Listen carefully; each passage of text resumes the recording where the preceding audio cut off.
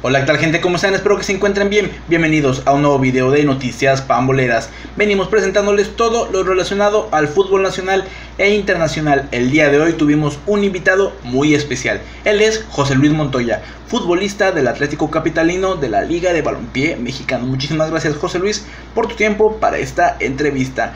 Antes de empezar, no olviden seguirnos a través de nuestras redes sociales, que Facebook, Instagram, YouTube y Twitter. Y bueno amigos, disfruten la entrevista.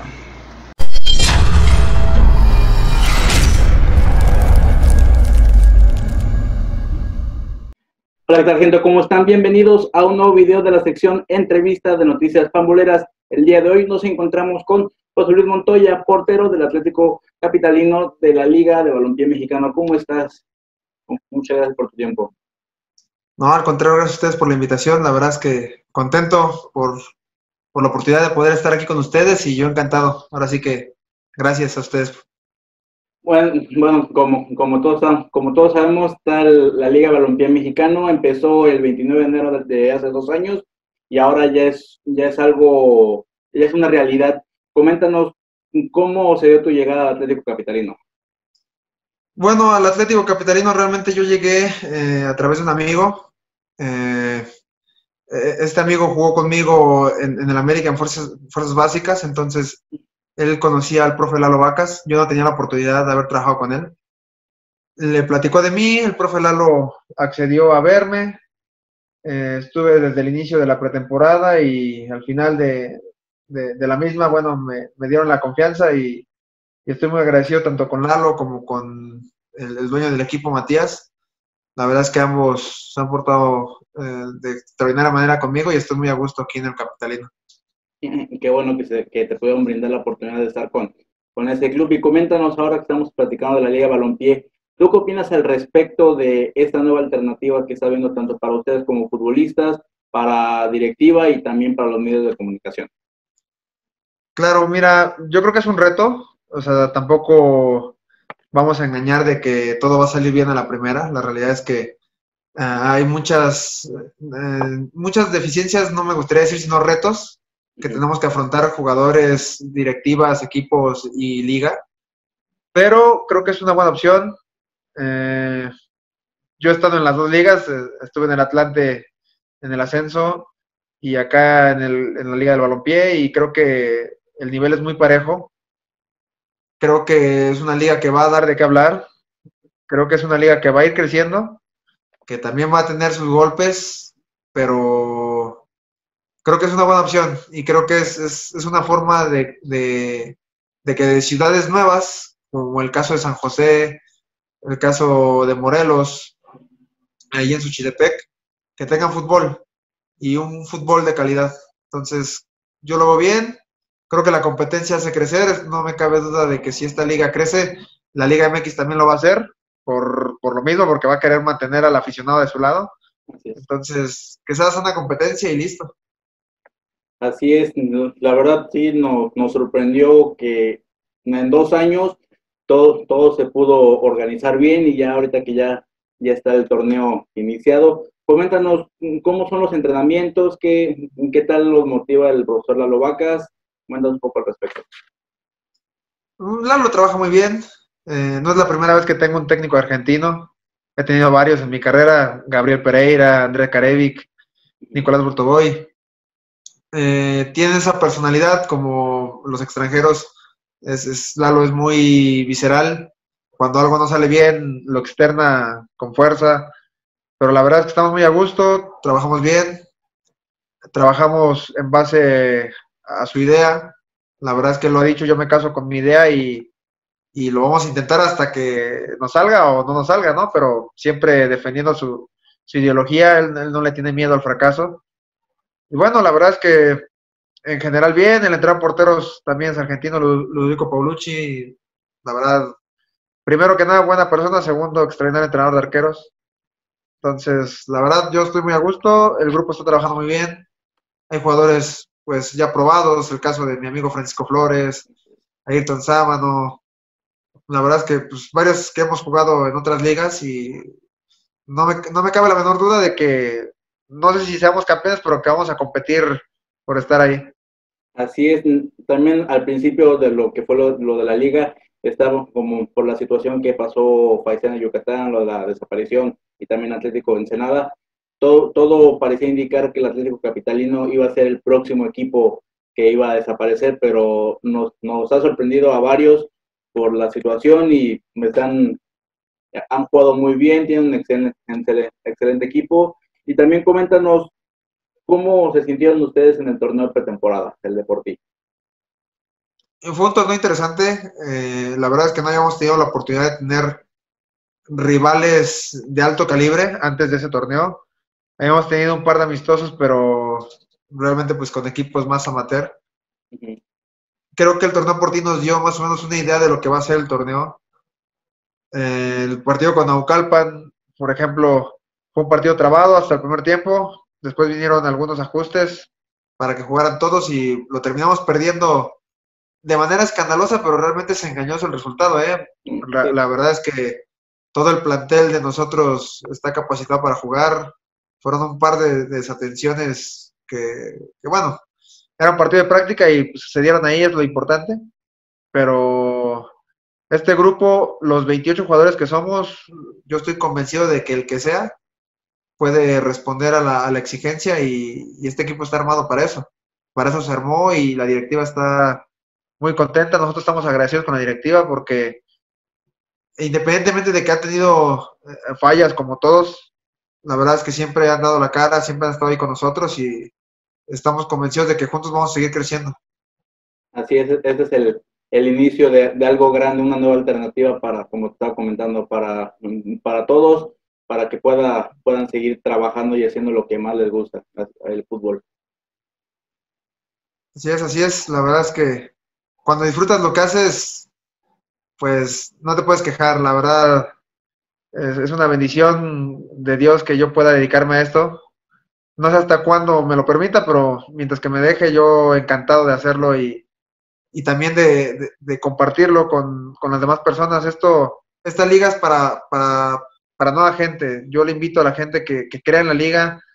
Va a seguir, va a, va a haber visorías el próximo año igual se va a crear la segunda división, vienen buenas cosas, es paso a paso, es muy complicado crear una liga de la noche a la mañana. La Liga MX no es lo que es hoy de la noche a la mañana, fueron muchos años de, de estar creciendo y creciendo y no me cabe la menor duda de que esta liga de a poco a poco irá mejorando en todos los aspectos, en marketing, en jugadores, en cuerpos técnicos, en todo. Así es, y así es, igual que como comentabas, invitar a la gente a que se enfoque también en lo que es la Liga Balompié Mexicano. Está ayudando mucho que jugadores de experiencia que han estado en la Liga MX estén, estén con los clubes y también tener a nada más nada menos que a Carlos Salcido como el presidente de la liga. Eso da un plus, un plus para que la gente, para que la gente los vea y sí, cuando se pueda ya poder entrar a los estadios. Ahorita que, que comento esto, ¿qué, qué opinas el, el no estar jugando con gente en los estadios? es complicado. La verdad es que la emoción de salir al campo con las personas gritando cualquier tipo de cosas, buenas, malas, eh, groserías, etcétera, son cosas que te enchinan la piel, son cosas que, que te motivan, sea bueno o malo, ¿eh? Porque, pues, por ejemplo, en mi caso, juegas de visitante, me tocó en una ocasión ir a, Irapuato, 25 mil personas, haces una tajada y el ahogar el grito del gol, te paras y te imaginas cómo te están viendo en la tele así como que, ah, qué tranquilidad tiene y, y tú por dentro, a huevo, o sea, lo libré.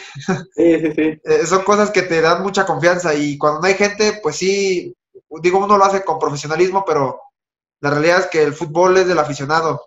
Siempre lo he dicho, o sea, nosotros somos los actores, pero eh, el fútbol no sería lo que es sin el aficionado. Es una realidad y ojalá pronto puedan estar de vuelta. La verdad es que los necesitamos a todos, rivales y los nuestros, eh, el aficionado es lo más importante en este deporte.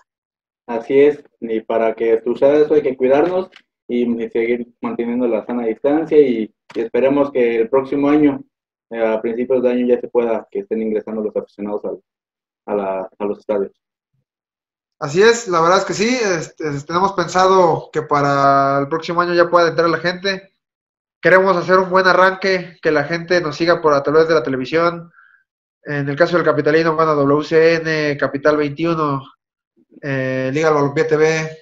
ojalá alguna otra televisora se llegara a sumar, eh, que nos vean, que nos den esa oportunidad de, agradarles y pues vamos a intentar defender lo que es esta ciudad. La verdad es que si vamos en cuestión geográfica, todo el mundo le quiere ganar a la capital. Entonces, vamos a tratar de, evitar eso, ¿no? De que si nos ganan, va a ser a punta de palazos y todo, porque la verdad es que no, no, no lo vamos a permitir.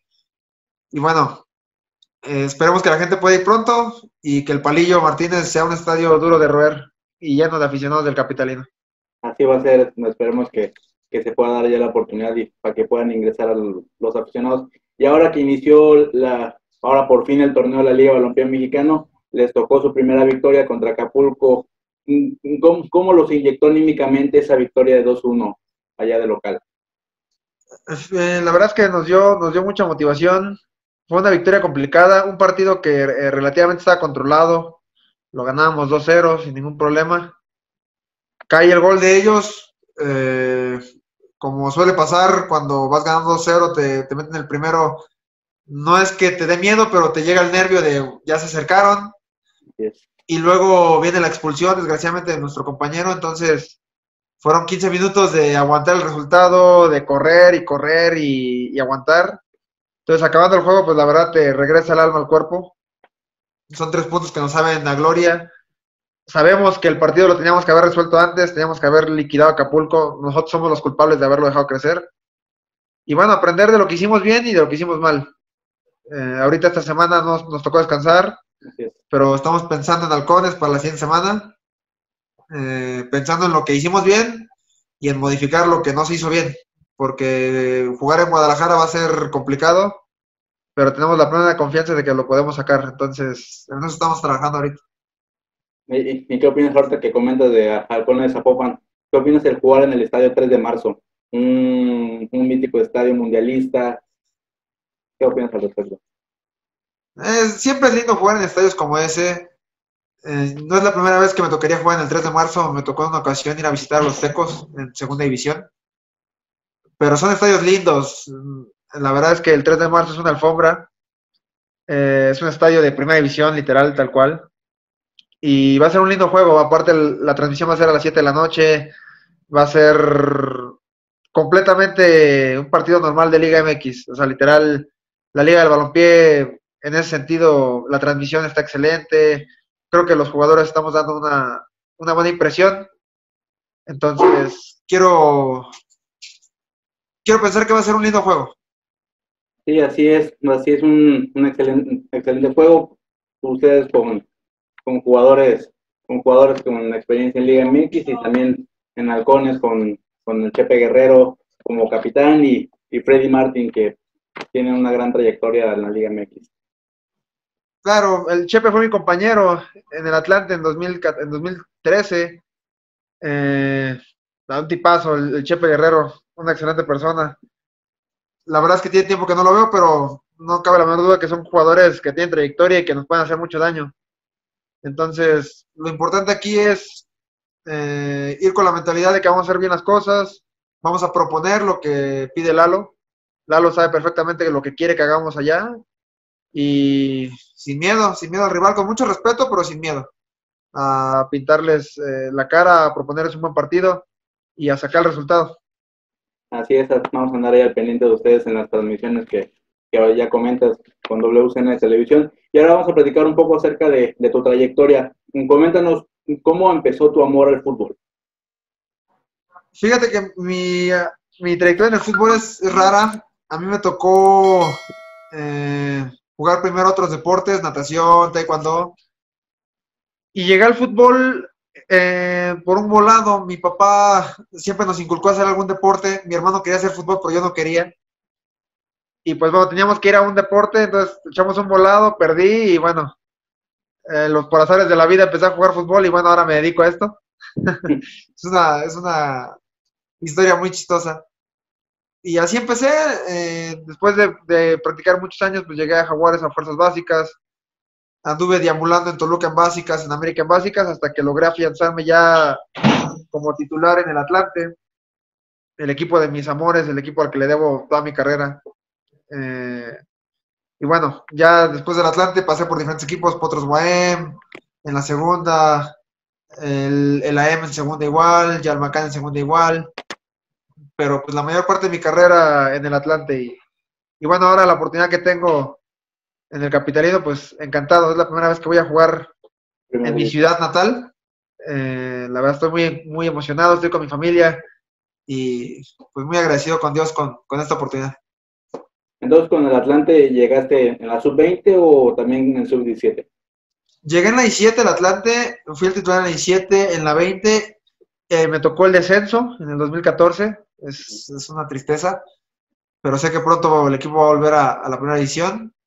Y bueno, me quedé mucho tiempo en el ascenso, salí en dos ocasiones, que son las veces que fui a jugar con Yalmacán y con Potros Guaem.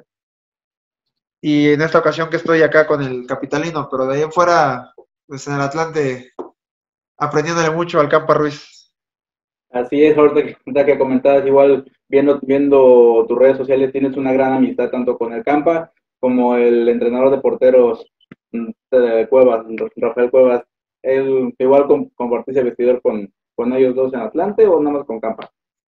Con Campa compartí vestidor, Rafa fue mi entrenador de arqueros. De hecho, tal cual te lo digo, Rafael eh, para mí, para mí es mi formador principal. Digo, he tenido entrenadores extraordinarios, como el que tengo ahorita, Ludovico, eh, tuve al Tabla Hernández, a Jorge Méndez. De todos, la verdad es que he aprendido mucho.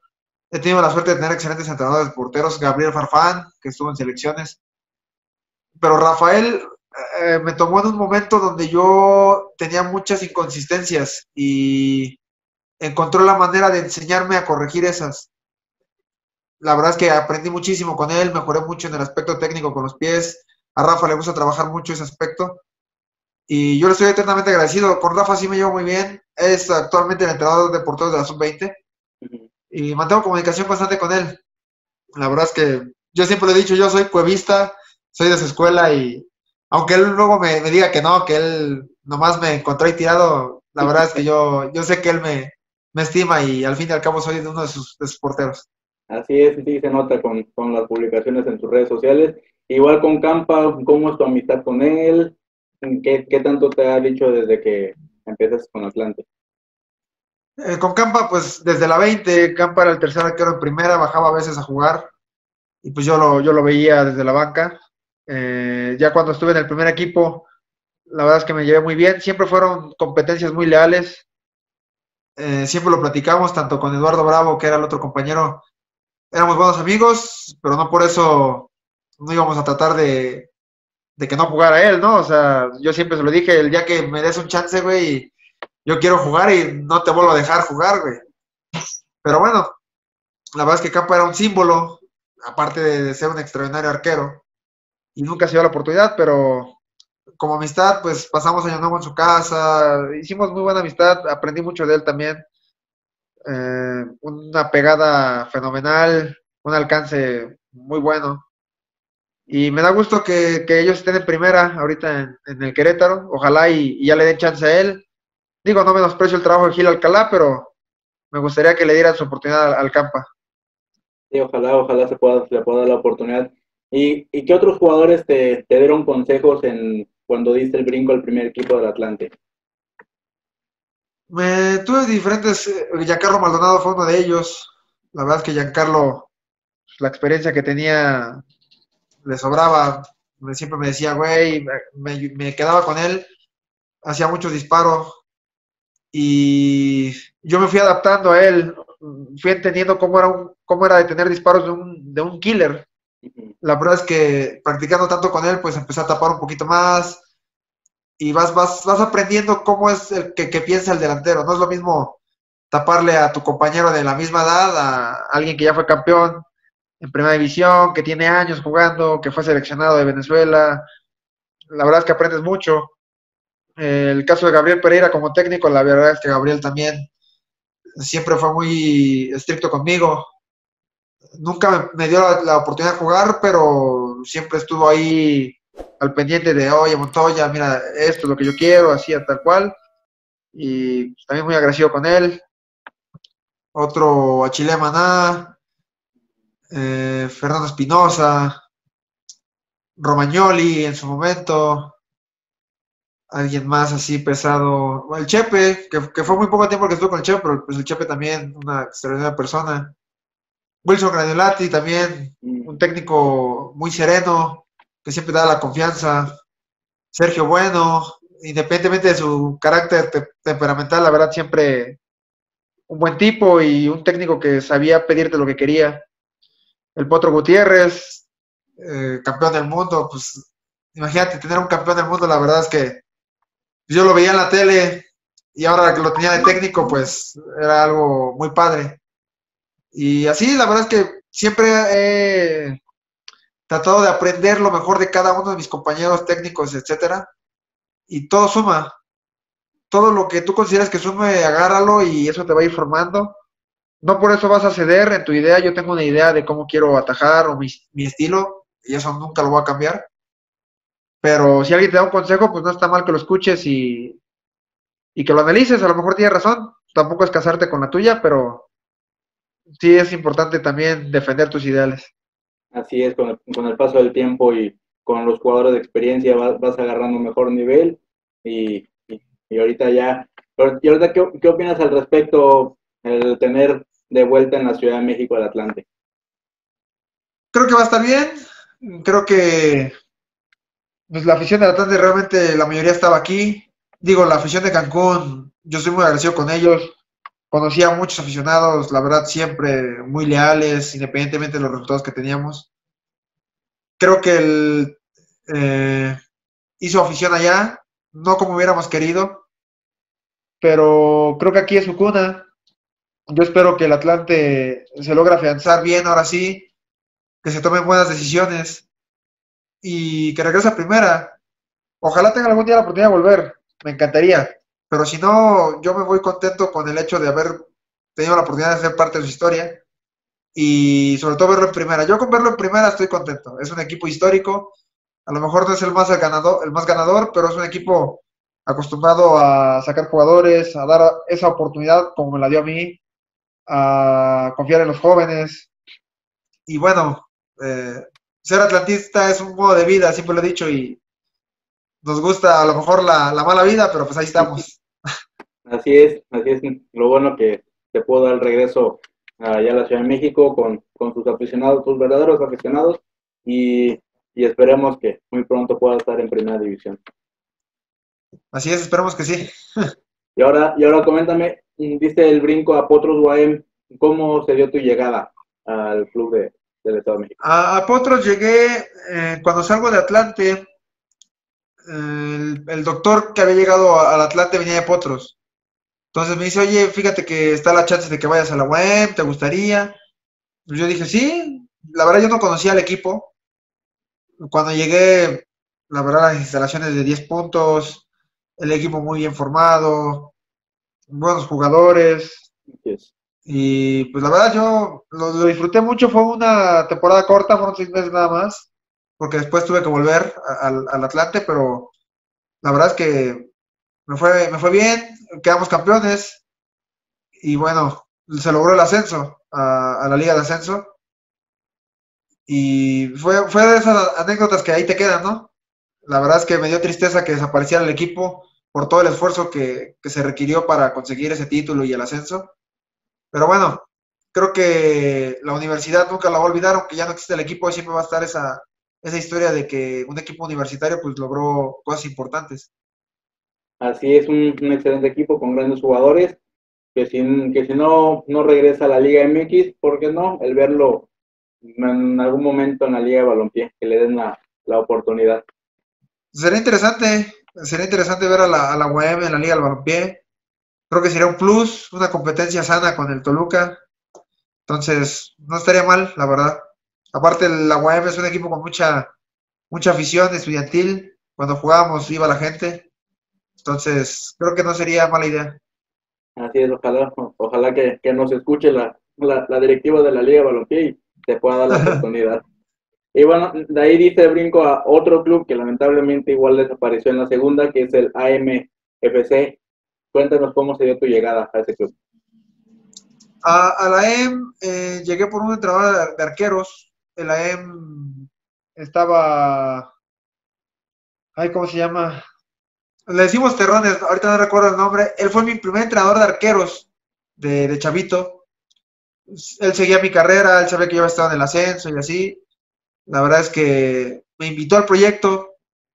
Yo había regresado al Atlante, estaba de cuarto portero con Fentanes. Eh, yo quería jugar, quería salir a jugar, porque de cuarto estaba más complicado, de tres era complicado, de cuarto estaba más. Entonces dije, ¿sabes qué? Mejor me voy, dame chance de irme para competir, jugar y, regreso. Y así fue como llegué a la M. Fueron igual otros seis meses y el, Atlante volvió a, regresar. Eh, bueno, ahora que estamos hablando tanto de Liga de Ascenso, Segunda División y la Liga de Balompié, bueno, ahorita dejando a un lado la Liga de Balompié, ¿qué diferencia tiene la Sub-20, el Ascenso y la Liga Premier ahorita? Mira, son ligas, todas son competitivas. Mm, yo creo que la diferencia radica en el colmillo del jugador. Eh, conozco muchos jugadores, en el caso, por ejemplo, del equipo en el que estoy, el Capitalino, tenemos algunos chavos, muy buenos jugadores, pero que carecen de ese colmillo, de esa viveza, de esa, de esa chispa. Eh, creo que en la segunda y en la 20 hay buenos jugadores que sin problema podrían jugar primera edición o ascenso MX, o, hoy liga de expansión, pero siguen sin, sin tener esa, ese colmillo de cómo sacar ventaja siguen siendo muy inocentes, o éramos muy inocentes, porque pues, todos pasamos por ese proceso. Pero realmente es la diferencia, porque ya en cuestión de capacidad, de, de, forma de pensar, creo que está muy parejo. Cada vez los entrenamientos de las fuerzas básicas, de la 20 y la 17, son más parecidos a un primer equipo. Entonces ya ves jugadores de 18, 19 años muy fuertes, con decisiones rápidas, y la verdad es que a uno que ya está allá arriba le, mete presión, porque son más jóvenes, porque vienen mejor preparados, y esa competencia pues ayuda a que nosotros también, ah, pues, hay que ponernos al tiro, porque si no, vamos a ir para afuera, es la realidad. Pero esa es la diferencia, realmente. Eh, creo que la decisión de erradicar el ascenso no, no, fue correcta. No discuto lo de la edad, a lo mejor lo de la edad fue una buena idea, eh, para formar los chavos que comentan, pero creo que una liga requiere el ascenso para que sea competitiva, si no, ¿qué ganas? O sea, realmente no tiene caso. Yo, yo hoy veo la liga de expansión y digo, bueno, hay buenos jugadores, pero ¿qué, qué emoción me da ver que gana mi equipo si no, no gano nada? O sea, no hay un objetivo. No, no, no y, y, aparte, los, los que han estado de, en las últimas posiciones, pueden ganar dos, tres partidos y llegan al, a la repesca. Claro, o sea, es, es, un poco inconsistente. De ahí en fuera creo que la verdad la, la decisión de formar la 17 y la 20 en su momento fue excelente. A raíz de eso, jugadores han salido, la estructura de los clubes ha sido mucho mejor. o sea, esas decisiones son las aplaudibles. También hay que reprochar las que no se han hecho bien, como en el caso de, del ascenso no, me queda la menor duda que tarde o temprano se va a revertir. En México no podemos quedarnos como en Estados Unidos con dos ligas independientes que no tienen nada que ver. O sea, estoy completamente consciente de que tarde o temprano el ascenso va a volver y todo se va a normalizar. Esperamos que sea lo más pronto que tarde, pero ya quedarán manos de la federación. Ojalá, ojalá sí habían quedado que en tres años, pero siguen peleando algunos clubes de, de la Liga de Expansión para lograr que por lo menos sea un año de que nos de que quiten el ascenso. Claro. Y bueno, antes, antes de llegar al Atlético Capitalino, estuviste con Yalmacán. Igual coméntanos cómo se dio tu llegada al equipo de Chetumal. Eh, la verdad es una ciudad que me encanta. Chetumal me dejó grandes amigos. Eh, la prensa, la verdad, siempre fue muy atenta conmigo. La afición también, la Marea Brava, a la cual le mando un saludo. Eh, siempre muy, muy leales. A Yalmacán llegué porque yo conocí a los dueños, a la familia Valdés, a la cual también estoy muy agradecido con ellos, la oportunidad que, me brindaron. Y llegué, la verdad que fue un buen torneo. El Yalmacán había hecho muy pocos puntos el primer año. El torneo que estuvimos antes de la pandemia habíamos logrado hacer veintitantos puntos, más de lo que habían logrado todo el año anterior. solo en la mitad del torneo, entonces se está haciendo un buen trabajo. Me sirvió mucho para volver a agarrar ritmo, porque venía de estar en Atlanta otra vez sin jugar. Y la verdad es que yo estaba muy feliz, estaba muy feliz y, y agradecido con la familia Valdés por esa oportunidad. Ojalá en, algún futuro, digo, ahorita estoy muy a gusto en el Capitalino, pero en un futuro me gustaría tener la, igual la oportunidad de volver a, a Chetumal. Estaría, estaría lindo. Sí, sí, lamentablemente por las situaciones de la pandemia tuvieron que cancelar todas las ligas y les, cortaron la, la racha invicta que estaban teniendo. Sí, la verdad es que era un buen torneo, teníamos la ilusión de que podíamos calificar, pero bueno, son cosas que suceden, son cosas que no están en nuestras manos. Eh, ahora sí que eh, es cuestión de, ver hacia adelante. Ahora cada uno de los que estamos en diferentes proyectos, estamos viendo en, lo, en donde estamos ahora, no podemos vivir del pasado, estamos pensando en qué vamos a hacer para, para lograr cosas importantes. Si estamos en esto es porque queremos lograr cosas importantes. Creo que todos los equipos de la Liga del Balompié tienen esa idea. No creo que haya uno que diga, no, pues yo nada más de media tabla para abajo. Todos, todos, como es una liga nueva, todos apuestan a lo más grande. Y eso es lo interesante de esta liga. Que aquí no hay, ah, que este es el chico y que este es el grande, porque todavía no sabes quién es el chico y quién es el grande. Entonces, es una incertidumbre, es, eso es lo, bonito de, de, esta liga, que el que menos pensabas le va a ganar al otro, que, en redes sociales, el caso, por ejemplo, te voy a poner el caso, el NESA contra el San José en la jornada 1. El NESA viene vendiendo en redes sociales desde hace como tres meses, que aquí, que allá, que todo el mundo sabía que existía el NESA. Pocas personas habían escuchado el San José. Y el San José vino y con así la boca calladita le metió cuatro y se llevó tres puntos de aquí. Entonces, eso es lo, bonito de esta liga, que el equipo que nadie conoce va a venir y le puede pegar al que está vendiendo un chorro de redes. Eh, no nos podemos confiar, eh, en eso estamos.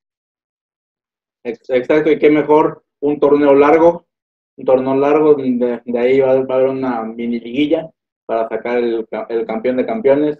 La verdad está muy, muy interesante el formato de la Liga Balompié Mexicana.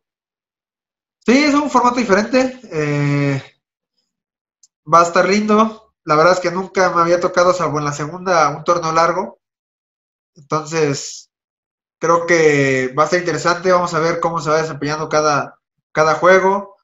Apenas vi una publicación que casi 600 mil personas vieron la primera, la jornada 1. Creo que está muy bien para hacer la primera jornada. Creo que conforme las jornadas vayan avanzando y la gente se vaya dando cuenta de que hay nivel, va a ir habiendo más gente. Y bueno, la verdad es que esperemos que, no solo nos vean, que también nos apoyen y que el capitalino sea de los que siga punteando. Ahorita somos cuartos, esperemos mantenernos dentro de esos cuatro y, seguir peleando ahí la calificación. Sí, ojalá. Sí, la verdad, desde, desde un principio la gente ha dicho es una liga muerta, el, torneo nada más va a durar uno y va, a desaparecer. Y no, con, con el paso del tiempo van a demostrar que es una gran alternativa, son grandes equipos, y de ahí va a ser todos contra todos y a ver quién, quién logra ser el primer campeón histórico de esta Liga de Balompié. Esperemos que sea el Atlético Capitalino para que quede en letras de oro. Así es, y también con, la situación de, la selección de la Liga de Balompié, ¿tú qué opinas al respecto? ¿Te gustaría que, te dieran la oportunidad de, de jugar ahí? como tipo selección. No, pues si hablas de selección, yo encantado de ir, o sea, eso ni, ni se pregunta. Eh, no conozco a Ramón Morales. Paco Flores, que es mi amigo, sí lo conoce.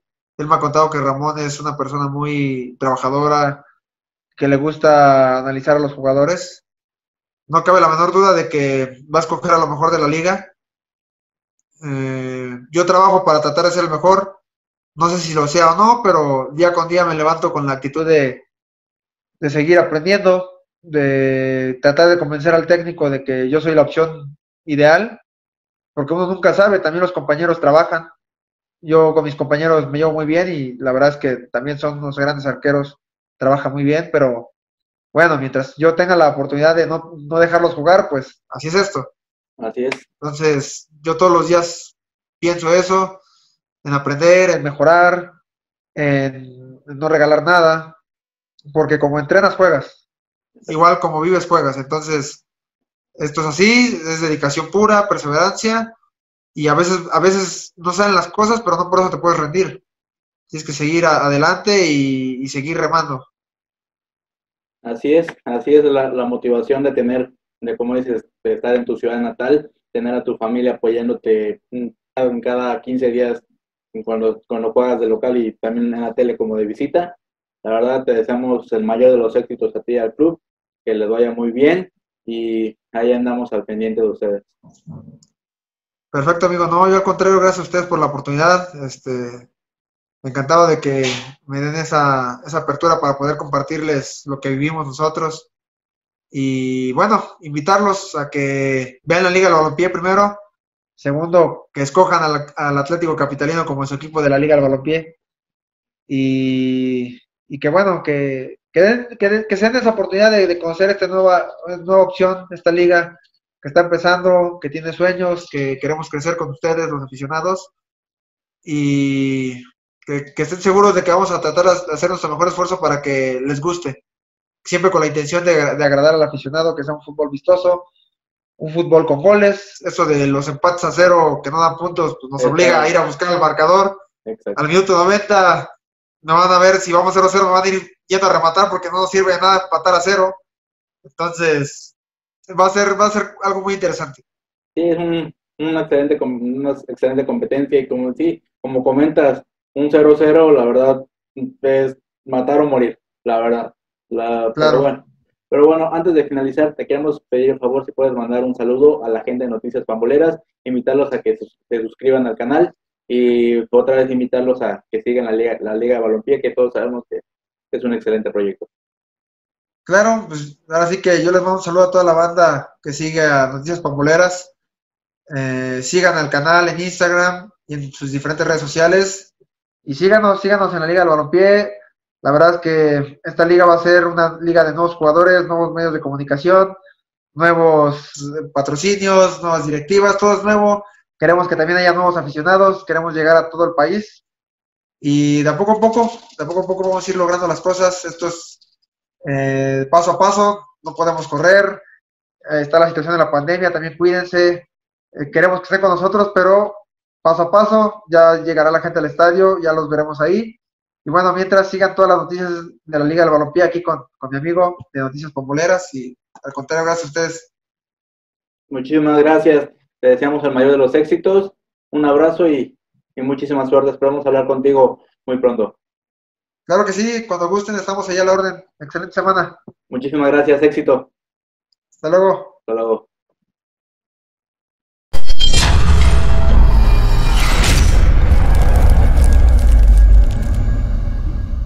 Y bueno amigos, esto fue la entrevista con José Luis Montoya, futbolista del Atlético Capitalino de la Liga de Balompié Mexicano. Muchísimas gracias José Luis por tu tiempo para esta entrevista. Antes de finalizar, no olviden seguirnos a través de nuestras redes sociales que es Facebook, Instagram, YouTube y Twitter.